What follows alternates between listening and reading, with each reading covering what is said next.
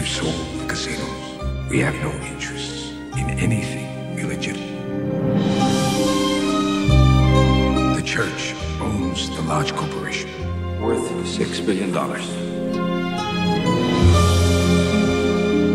Don Corleone, this deal can make you one of the richest men in the world. Friends, our business together is done.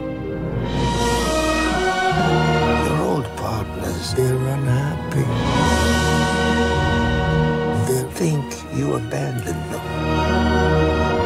Just when I thought I was out, they pull me back in. Mr. Corleone, we have a problem. I said we make him dead. You give me the order, I'll take care of it. It's not personal, Godfather. It's only business.